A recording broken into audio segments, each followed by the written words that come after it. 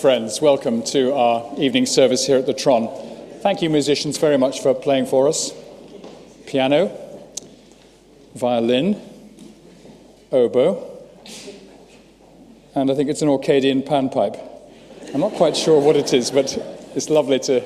The Lord gives us music to lift our hearts, and He gives us the Bible to speak to us about Himself and His great plans. So we'll start with a verse from 1 Corinthians, and then we shall sing together. The Apostle Paul writes No one can lay a foundation other than that which is laid, which is Jesus Christ. Well, we'll sing a hymn now about that great foundation. Number 567 in our hymn books. 567. Christ is made the sure foundation, Christ the head and cornerstone.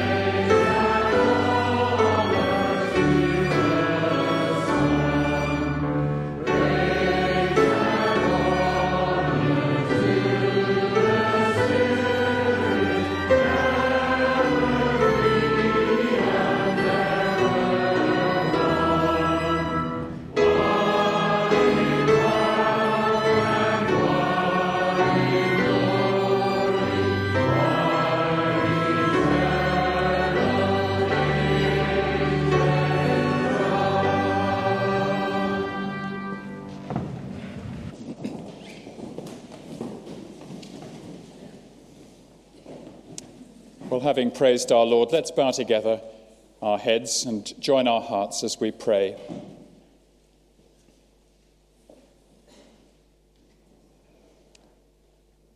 We've just sung to him, We as living stones implore you, come among us, Lord, today. With your promised loving kindness, hear your people as we pray. The prophet Isaiah went into the temple and he had a great vision of the Lord. In the year that King Uzziah died, I saw the Lord sitting upon a throne, high and lifted up, and the train of his robe filled the temple. Above him stood the seraphim. Each had six wings. With two he covered his face, and with two he covered his feet, and with two he flew. And one called to another and said, Holy, holy, holy is the Lord of hosts. The whole earth is full of his glory. and the foundations of the thresholds shook at the voice of him who called and the house was filled with smoke. And I said, Woe is me, for I am lost, for I am a man of unclean lips, and I dwell in the midst of a people of unclean lips. For my eyes have seen the King, the Lord of hosts. Then one of the seraphim flew to me, having in his hand a burning coal that he had taken with tongs from the altar. And he touched my mouth and said, Behold, this has touched your lips your guilt is taken away and your sin atoned for. Our gracious Father, we thank you so much that you have kept this record in the Bible for us of the experience of your servant Isaiah. We indeed dare to thank you that he was overwhelmed with a sense of his own uncleanness, his sinfulness, and the sinfulness of his people too and he was afraid because his eyes had seen you. And yet, dear Heavenly Father, you were gracious to him because you are so gracious. And you sent one of your servants, the angel, who took a live coal and touched his lips and assured him that his guilt, the guilt of his lips, the guilt of the words of his mouth and the words of his heart, had been taken away.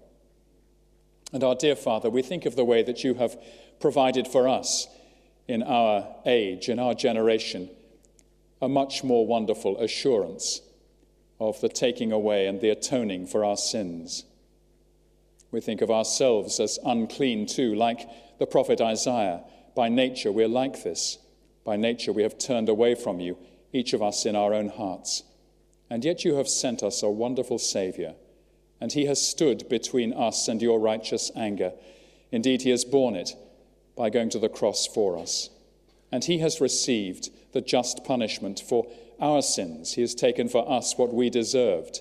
He has stood in for us so that we should be completely forgiven and our sin atoned for. And we thank you, therefore, dear Father, for him. Thank you for your desire and purpose to accept us back into your presence so that we should be no longer aliens and outcasts but rather members truly of your family, with our sins covered and atoned for. So we lift up our hearts to you tonight, dear Heavenly Father, with real joy and gratitude as we think of the care that you have given to us and the assurance also that you have lavished upon us in and through the work of your Son, our mediator, the Lord Jesus. And so we pray that you'll lift our hearts to you afresh tonight, dear Father that you will help us to cast our cares upon you because we know that you care about us. And we pray that you'll teach us and refresh us and encourage us with each other's presence and with your word, with our company, with our singing, with our praise. And all these things we ask in the name of Jesus Christ, our Saviour. Amen. Amen. Well, friends, let me say again how good it is to see you all here. You could have stayed at home. You could be drinking your third cup of tea and eating yet another muffin and toast, but you decided to come out to be with the Lord's people, and that is always the best decision to make because we need each other. So, welcome to everybody. Welcome especially to any visitors who are here with us tonight. Uh, we do hope that you will be glad to be here. And any newcomers, do make yourselves known to us uh, afterwards and, and stay and have a little chat so that we can get to know you a little bit. We will be serving our usual delicious refreshments downstairs in in that room down there, uh, the Glasgow room, the Glasgow room as we call it. Do, do pop in there and shake hands with some of our Iranian friends because that is so much appreciated. We're seeking to draw them really into the fellowship. Some are Christians, some are feeling their way towards faith, but they really appreciate it if some of the us sort of you know members of the congregation really join in and, uh, and show a, a loving welcome there. So do, do pop in if you can there. Just one or two other things to say. Tuesday, this Tuesday at 7 o'clock, there's the Christmas celebration for senior members. I just mentioned that to the senior members so that the senior members, whoever they are, will know that they're invited. I'm not quite sure how old, how young you can be to slip in as a senior member. But anyway, that'll be a, a lovely evening, and uh, I'm, I'm, sure that will be, be, much enjoyed. I think there are plenty of copies still of this, uh, this well, it's not, not exactly a Christmas card, but it's a Christmas invitation uh, to our various Christmas events, which are listed on the back, starting with our Carols by Candlelight service here um, at this time next week, half past six in the evening. So do use those and do pass them on to friends uh, to invite them along to be with us. Good, well, let's sing together again. And our next hymn you will see up on the screen Come, people of the risen King, who delight to bring him praise, come all and tune your hearts to sing to the morning star of grace. Let's sing together now.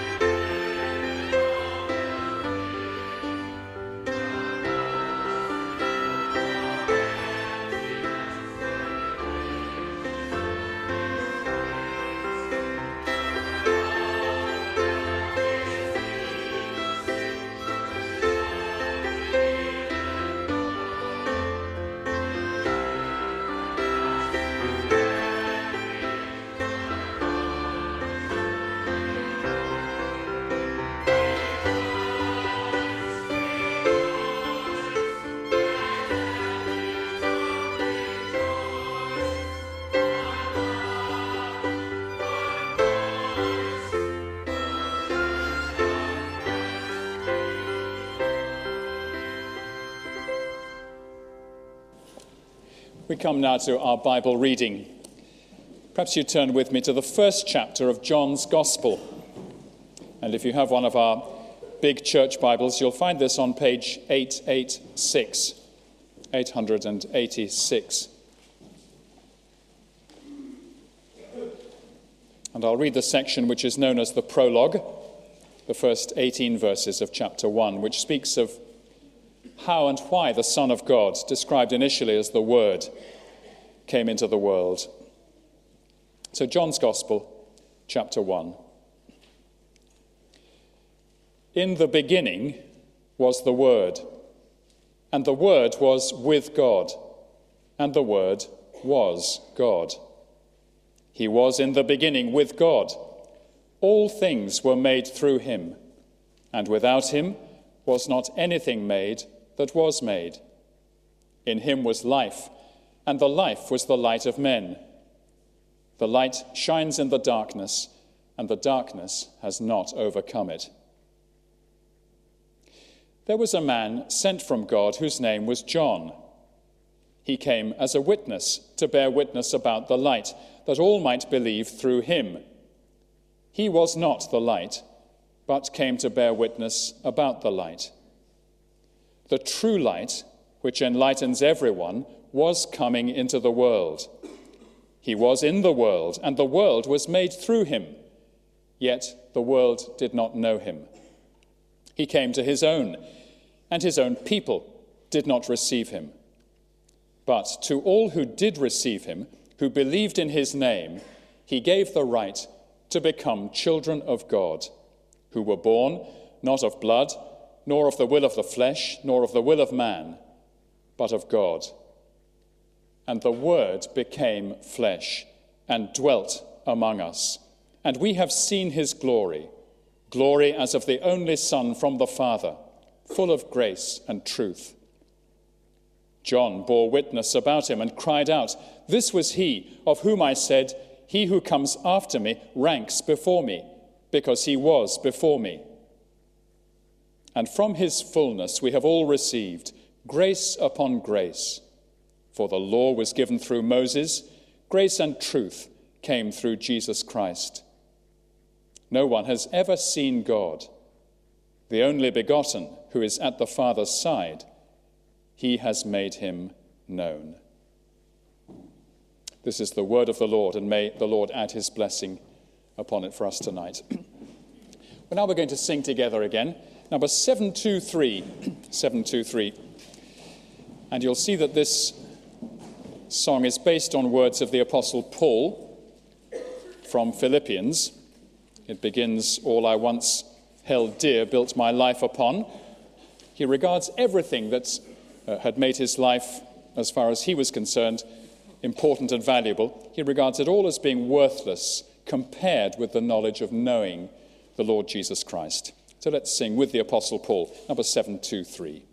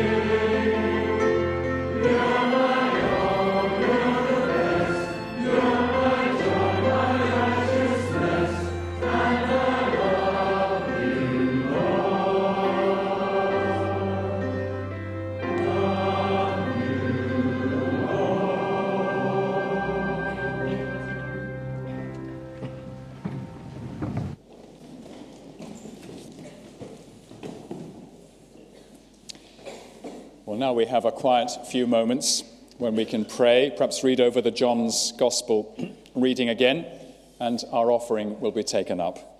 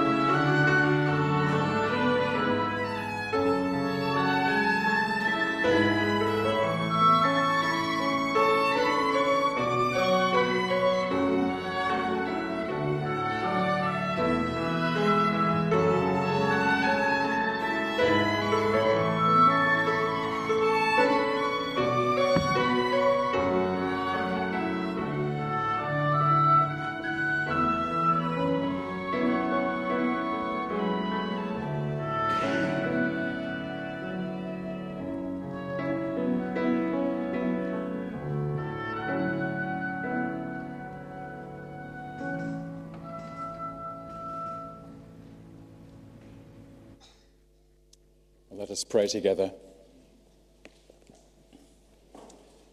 And to encourage us in our prayers, I'll read some words spoken by Jesus himself in the 15th chapter of John's Gospel. He says to his friends, his disciples, Greater love has no one than this, that a man should lay down his life for his friends. And you are my friends if you do what I command you. No longer do I call you servants, for the servant does not know what his master is doing. But I have called you friends, for all that I have heard from my Father, I have made known to you. You did not choose me, but I chose you and appointed you that you should go and bear fruit, and that your fruit should abide so that whatever you ask the Father in my name, he may give it to you. These things I command you, so that you will love one another.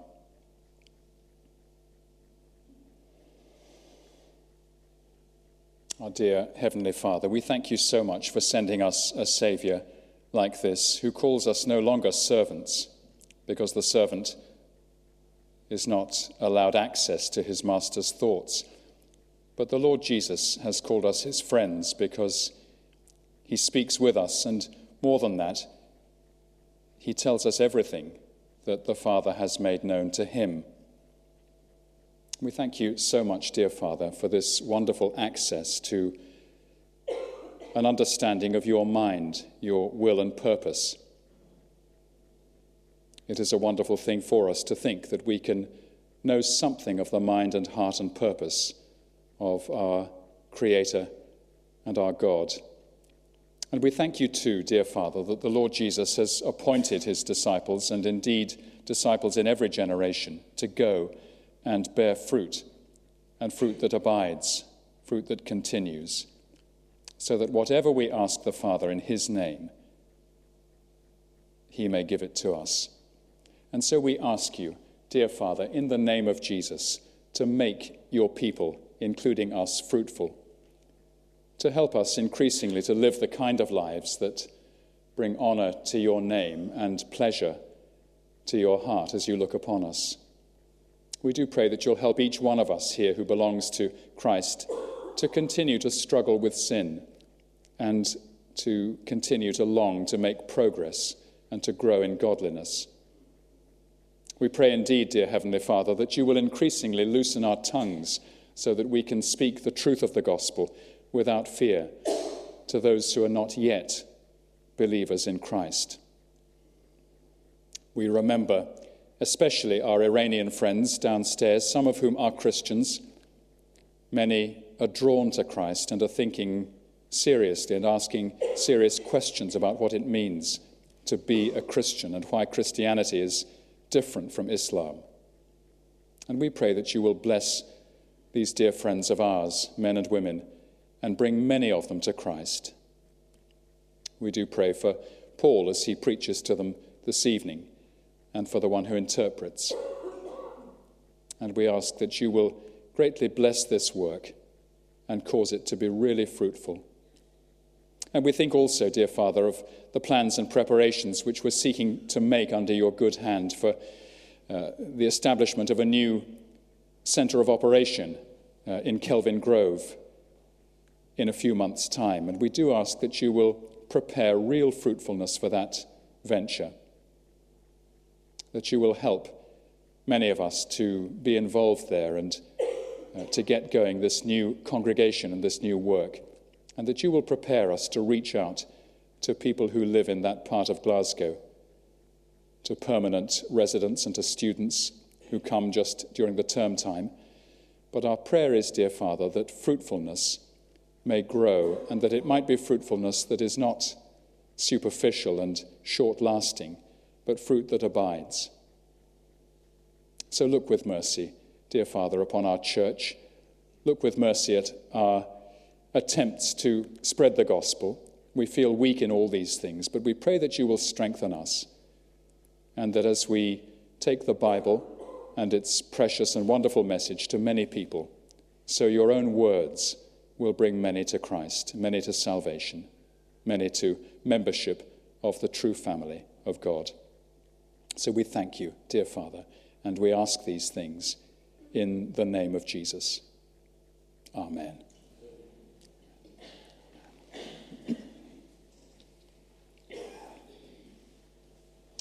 Well, now, before we turn to these words from John chapter 1, we're going to sing together again. Number 518 Come down, O love divine, seek out this soul of mine and visit it with your own ardour glowing. Number 518.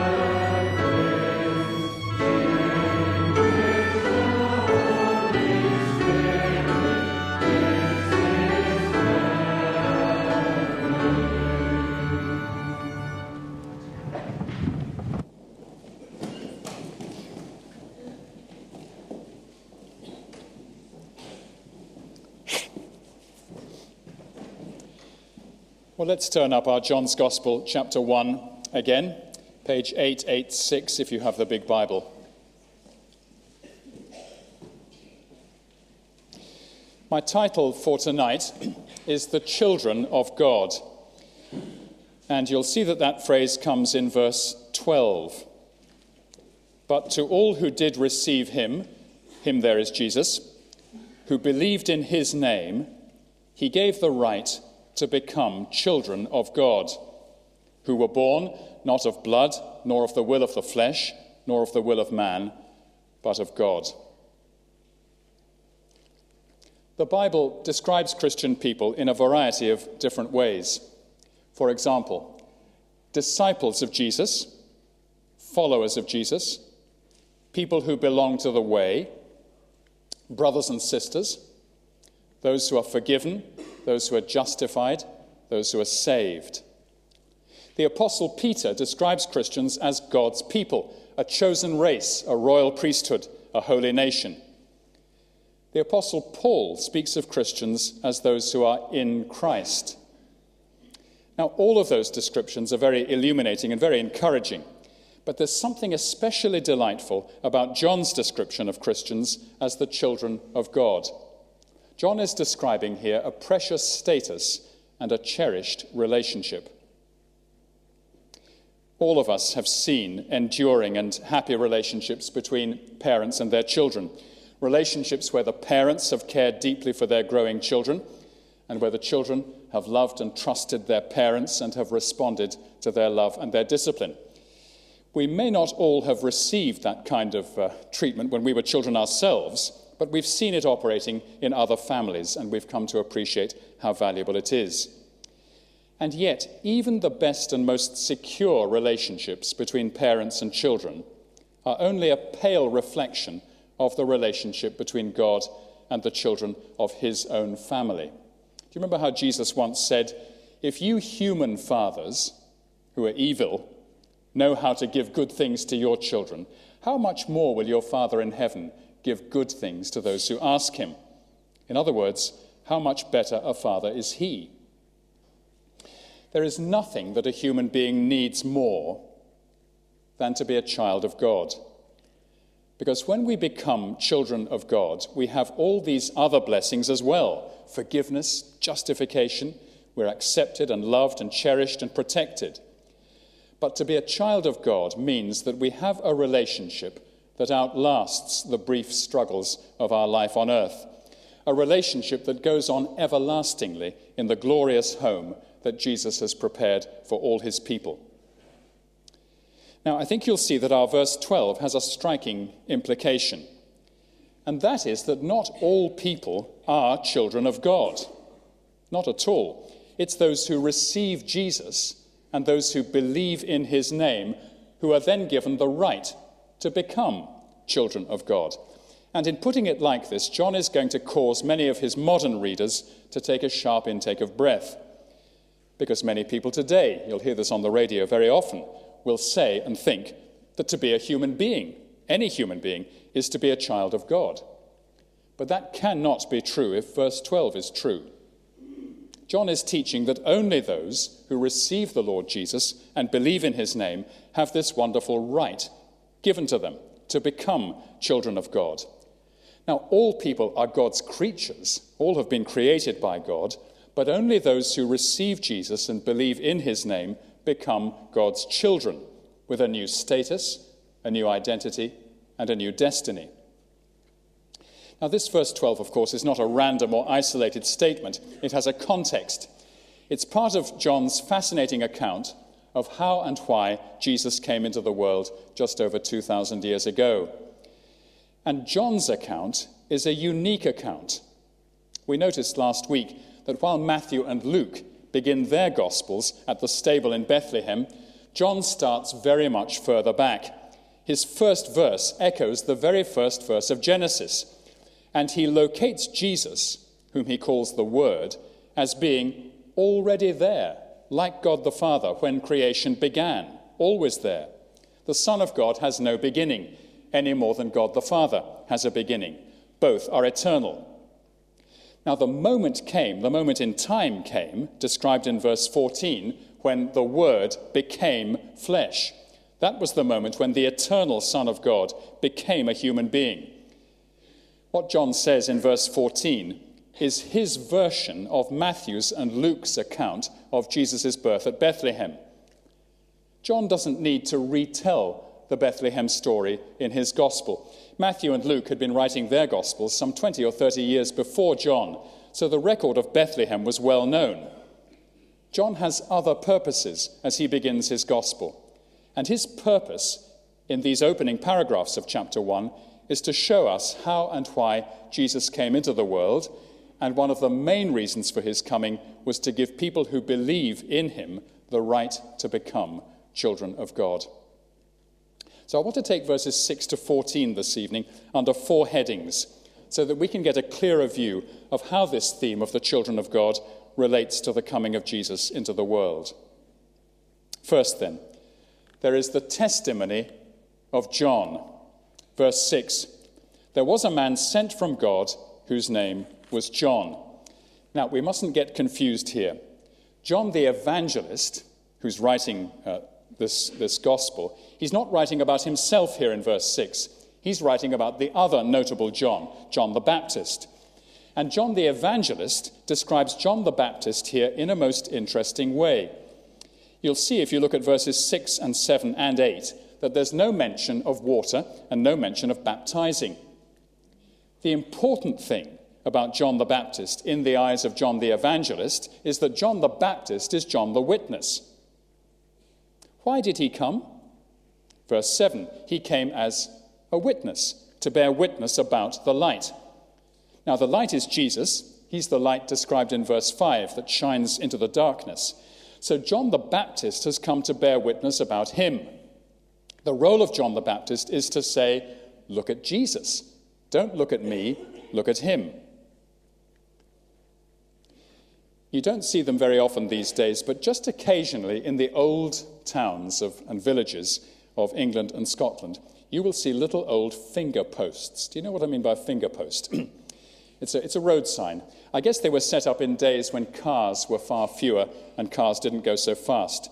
A finger post stands about perhaps only seven or eight feet tall. It's a slender metal post painted black and white with arms pointing in two or three or four directions.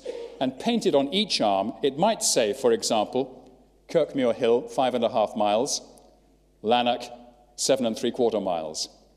And sometimes on these posts, a little human hand is painted up there with a pointing finger, showing the direction that the motorist must take if he wants to go to that particular place. Now, John the Baptist is like a finger post.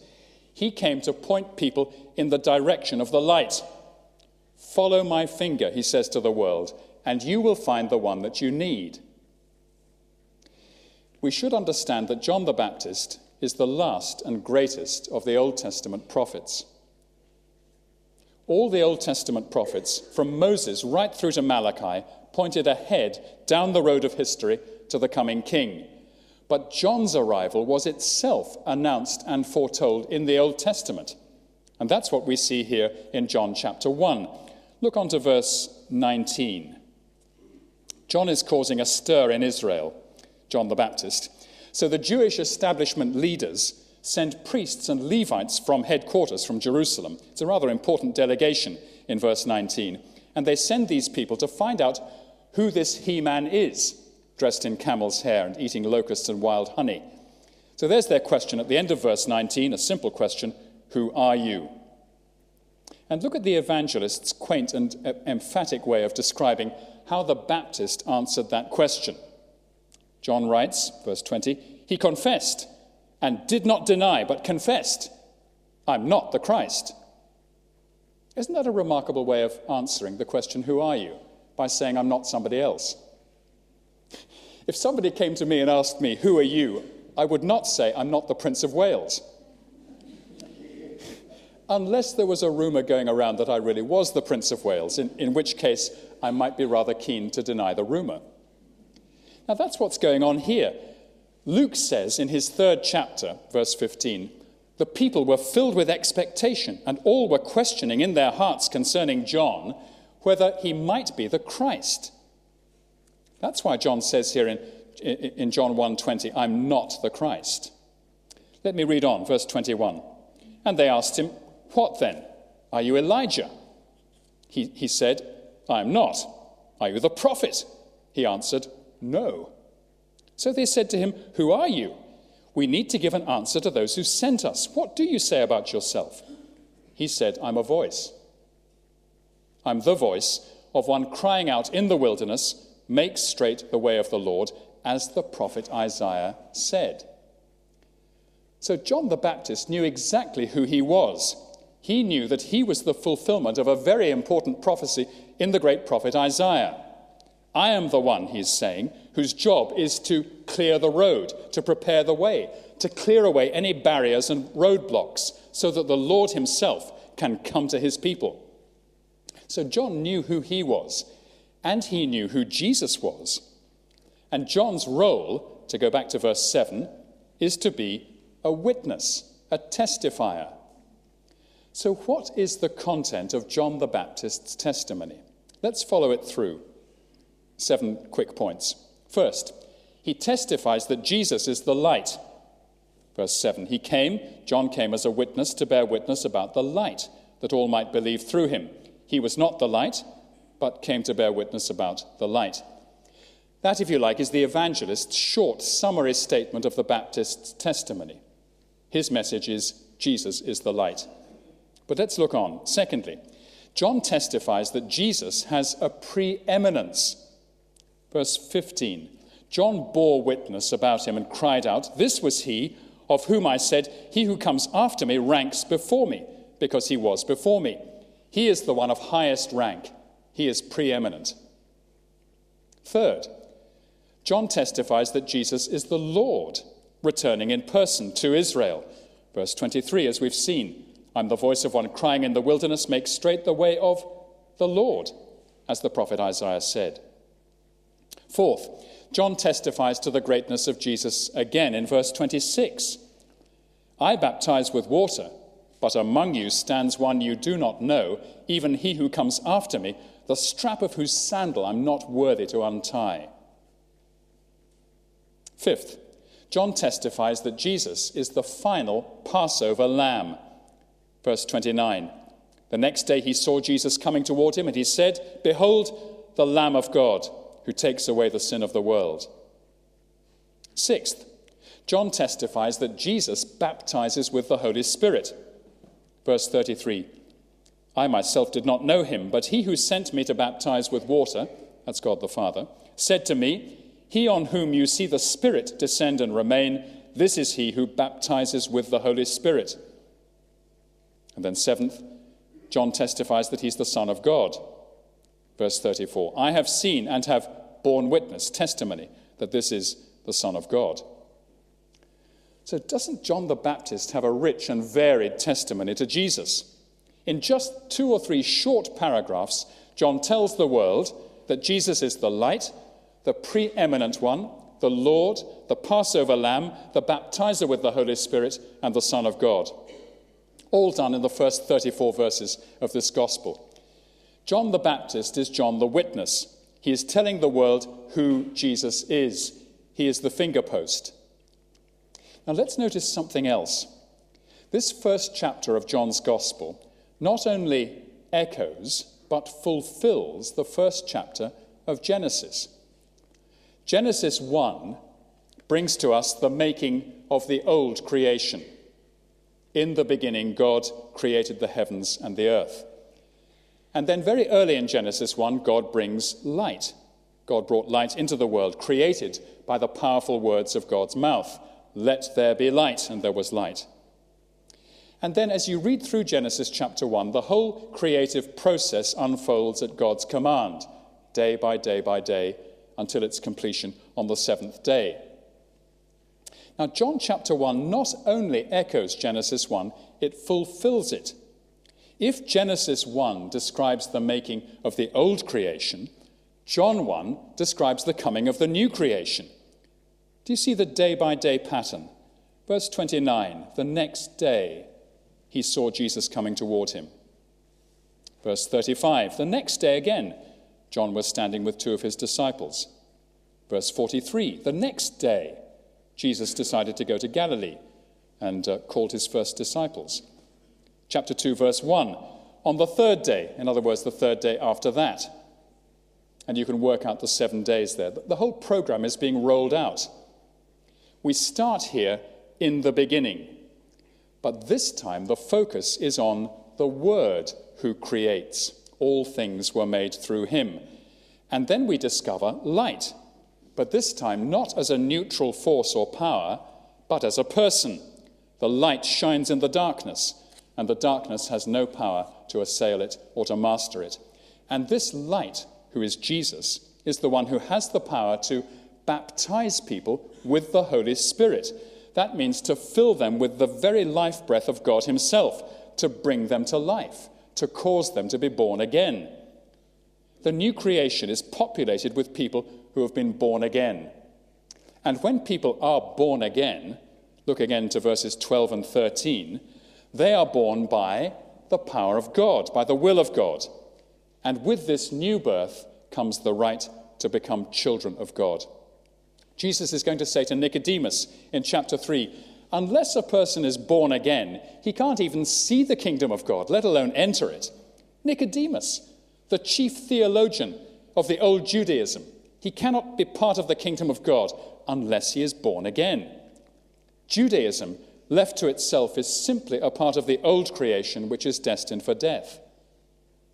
But when the Jew, or the Gentile pagan, and I guess most of us were Gentile pagans at one point, when a person is born again by the power of the Holy Spirit, that person becomes a part of the new creation, the new world, which is brought into being by the arrival and the achievements of Jesus Christ.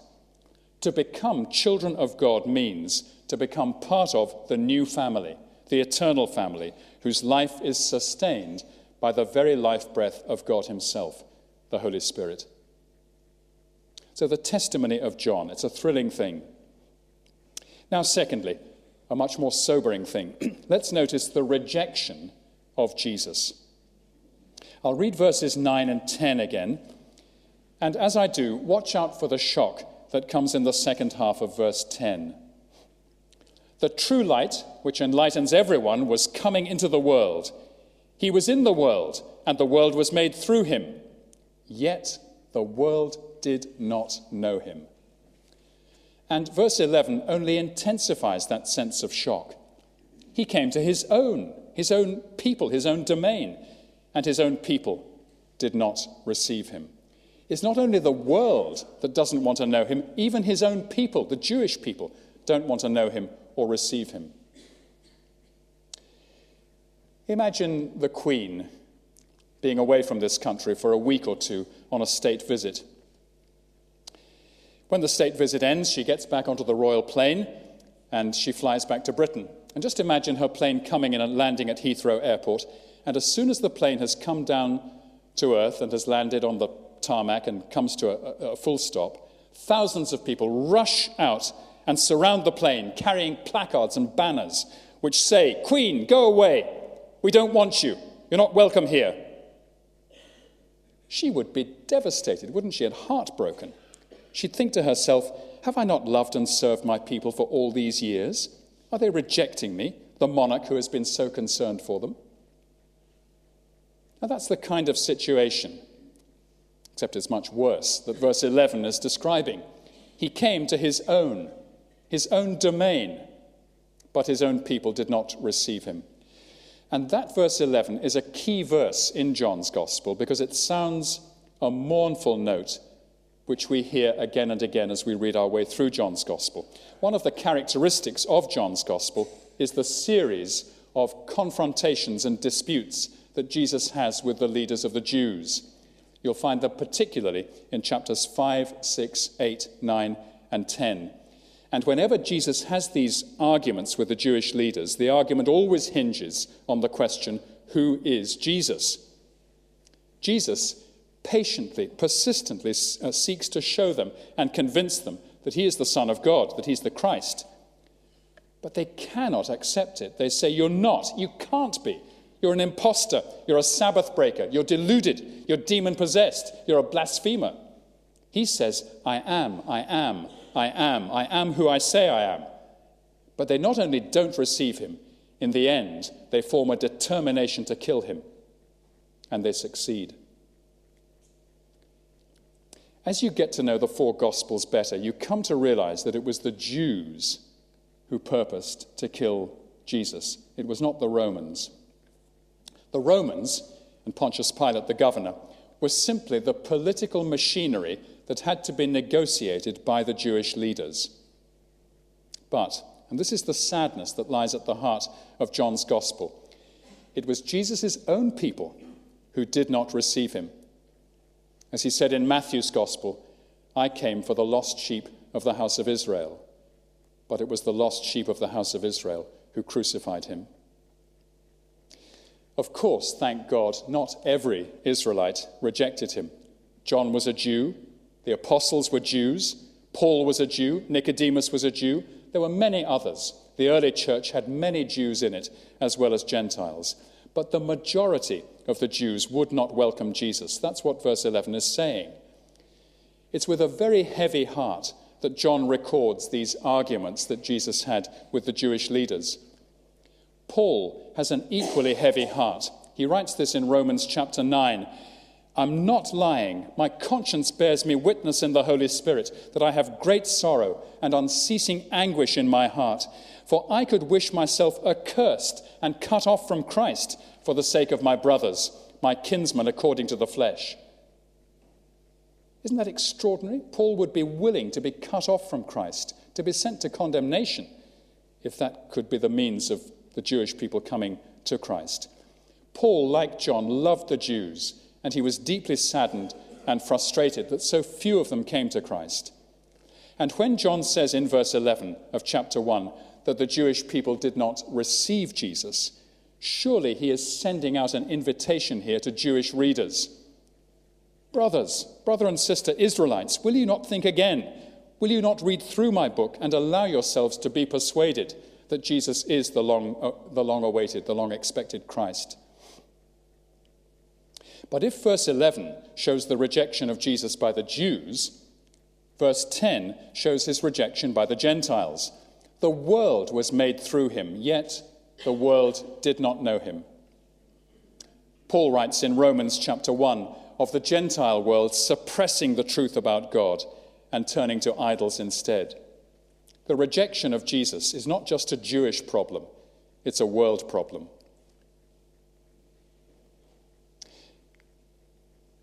And think of the way that this has featured in our own lives. I know that the great majority of people here tonight are Christians, but just think back to earlier times in your life.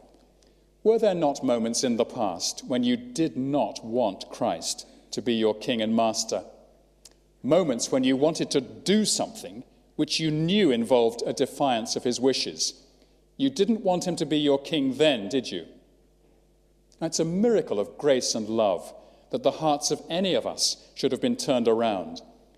But that's what he's like. He is gracious and persistent, and he is willing to bring new life and new birth into the hearts of even the most determined rebels. Well, let's thank God that he is so kind. But John, in verses 10 and 11, is teaching us not to underestimate the hostility of the natural human heart towards Jesus. Without the miracle, the supernatural miracle of the new birth, we do not want him to be our ruler. That's our natural state. Now, thirdly, let's allow John to teach us about the purpose of God, the purpose and will of God in verses 12 and 13. His purpose and will, of course, is to bring people to new birth. You'll see that verse 12 begins with a prominent but. But to all who did receive him. It's a but of mercy and joy and relief. If verses 10 and 11 have been deeply depressing, verse 12 opens a door into a new world. John is saying to us, the gloom of verses 10 and 11 is not final. The good news is this that to all who did receive him, who believed in his name, he gave the right to become children of God, who were born not of blood, nor of the will of the flesh, nor of the will of man, but of God.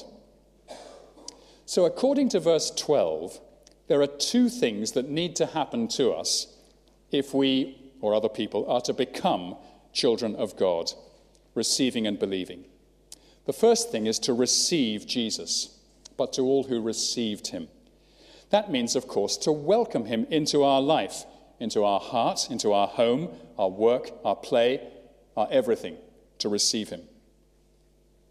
Christmas is coming, Christmas is nearly here, and many of us will be welcoming people into our homes, won't we, for Christmas? Most of those that we welcome in will be people that we're looking forward very much to seeing. There might be one or two for whom we have to prepare rather carefully, mightn't there? Strapping on the bulletproof vest because great Aunt Henrietta is bearing down upon us from Frinton on Sea. Frinton on Sea is a town in Essex, by the way, and it bristles with great aunts. But most of the people that we'll be welcoming into our homes, we shall look forward to welcome, welcoming with really joyful hearts. We'll give them the best of everything, won't we? The best guest room, the best food, the best cup and saucer to drink from, the best seat by the fire. Now, to receive Jesus is to welcome him like that, but not just for a few days, for life, forever. Where meek souls will receive him still, the dear Christ enters in but the soul needs to be meek. In other words, glad for him to be our Lord and Master. We receive him not as householders who are receiving guests, but as servants and friends who are welcoming their master home, to take charge, to run the place. Master, here is my life, all of it at your disposal. That's what Zacchaeus did. Remember in Luke's gospel? Jesus was walking through Jericho and he looked up into the branches of the sycamore tree, and there was this little man looking down at him. And he said, Zacchaeus, hurry, come down. I must stay at your home today.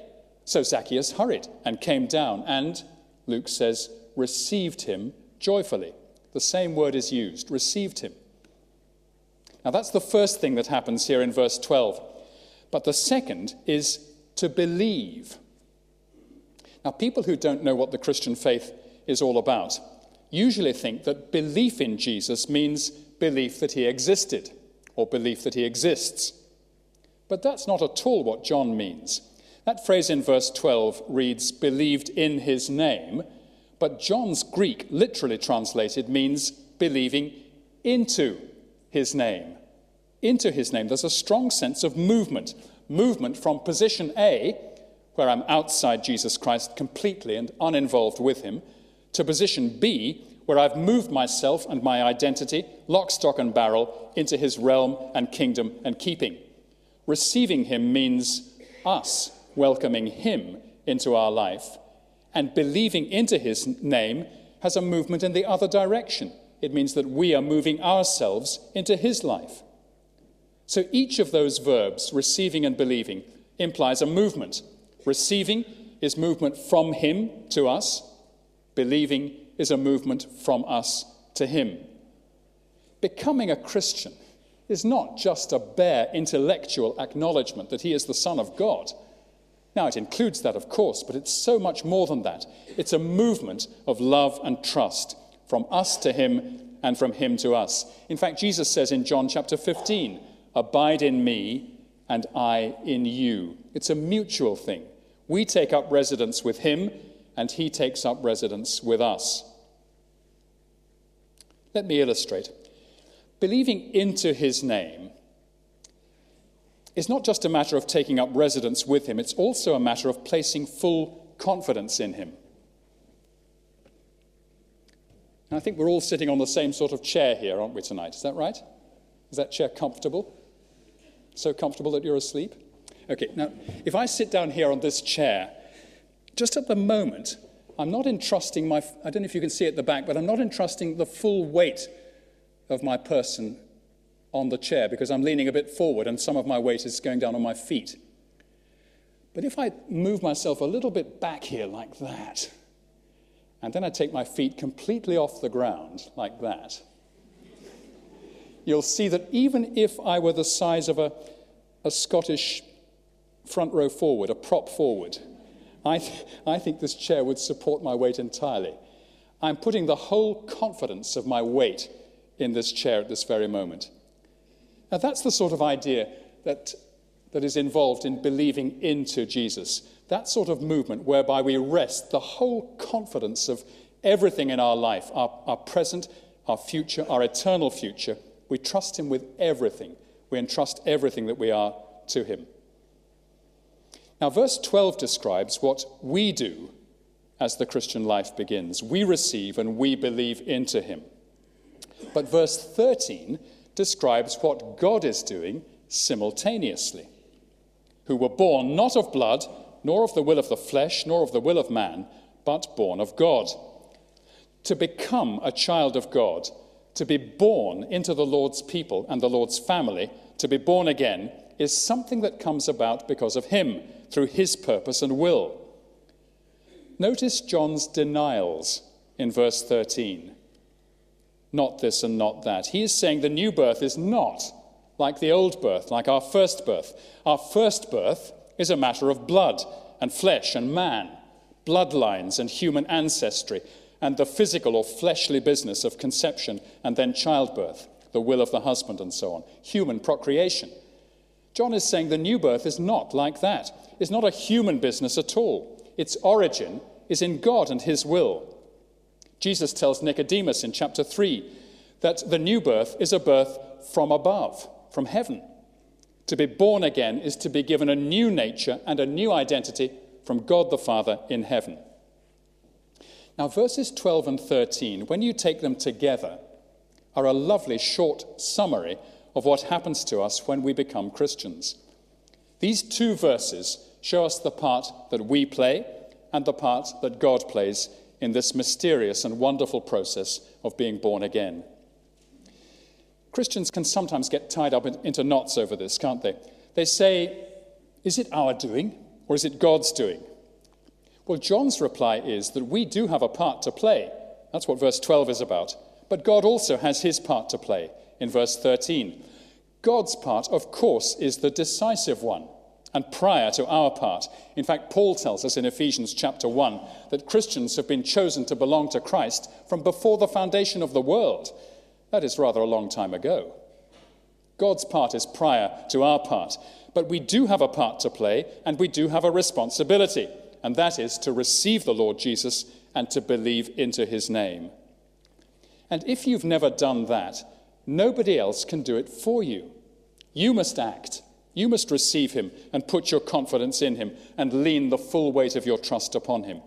And if you do that, once you've done that, you will come to see with a growing sense of assurance that God has taken hold of you and has begun to reorientate your life away from King Self and towards King Jesus, whom you have now received and believed in.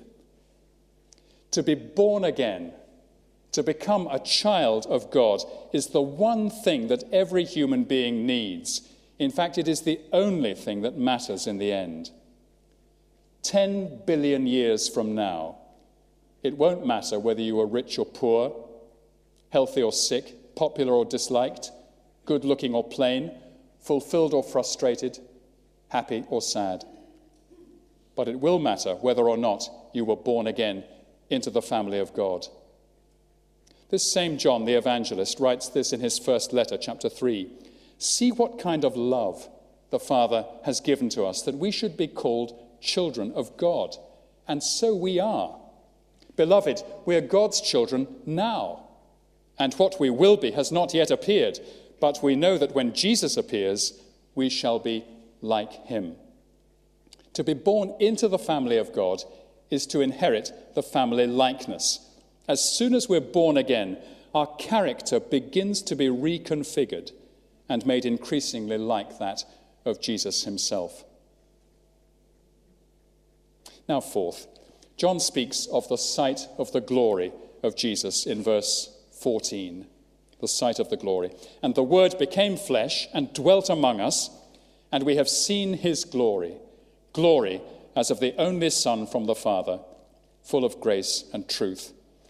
Now, that verse is part of the witness of John the evangelist to the truth about Jesus.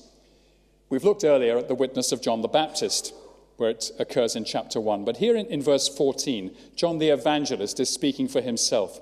He's telling us about what he has seen and understood.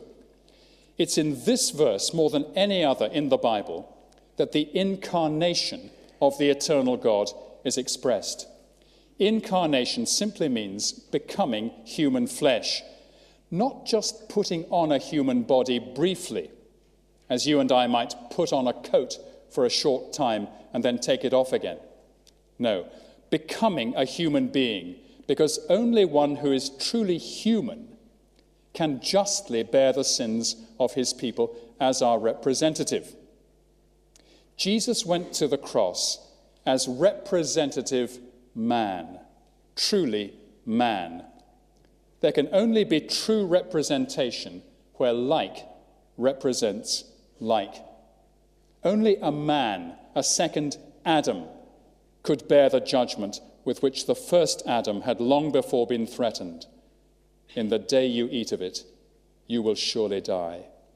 Only a man could bear and exhaust that bitter judgment so as to take the bitterness completely away. And yet, this human, flesh and blood man is so much more besides, because he dwelt among us, literally tabernacled among us, just as the tabernacle lived with the Israelites in the wilderness, representing the very presence of God in their midst. So Jesus, for a short while, dwelt amongst his people. God in man, dwelling amongst men. And what did John see as he looked at Jesus? Glory. And what kind of glory? He tells us glory of a unique kind, the glory of the only Son. The only Son. Is that a strange thing to say when John has just been talking in verse 12 of many sons and many children of God? Yes, Christians are children of God, and Jesus also is the Son of God, and we shall be like him in the end. And yet, he will be eternally distinguished from us. Only he will be seated at the right hand of God the Father. Only he will forever bear the scars of his suffering, long after every tear has been wiped from our eyes. He is singular, he's unique, he is the only begotten. And just notice the origin of his glory in verse 14. It is the Father's glory, glory as of the only Son from the Father. How and where did John see the glory of Jesus? On the Mount of Transfiguration? Well, certainly there. But surely he came to see the glory of Jesus in every part of his Master's life. That glory was characterized by the grace and truth of his Master's words and work. Above all, John came to see his glory in the place where it would be least obvious to the casual observer at the cross, where Jesus hung, in the humiliation and the barbarity of that dreadful gallows. That was grace and truth. Grace stooping so low, being prepared even to be abandoned by his Father so as to win our eternal safety. Now, the world, of course, will continue to reject him. We must expect that. And yet, God loved the world, and we too must love the world and keep on holding out the good news of the gospel to a dying world. But to be born into God's family, to have such an elder brother as Jesus, unique and yet like us, and to enjoy his company forever. That's why he came into the world, to open the gateway into a new world, to give us membership of a new family, to give us belonging rather than isolation, life rather than death, and to make us the children of God. Let's thank him again with all our hearts tonight. To all who did receive him, who believed in his name, he gave the right to become children of God, who were born not of blood, nor of the will of the flesh, nor of the will of man, but of God. Well, let's pray together.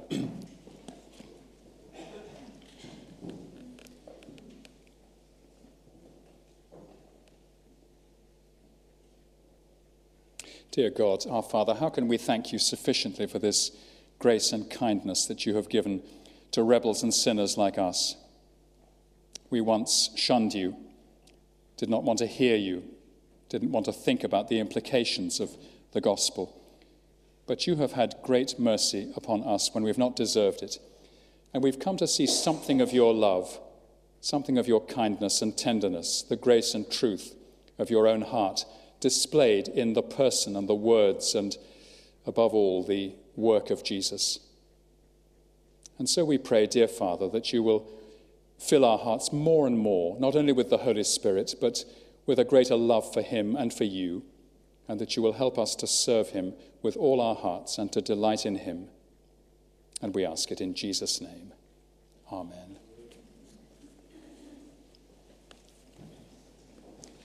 Well, we come now to our final hymn, which is number 625, 625.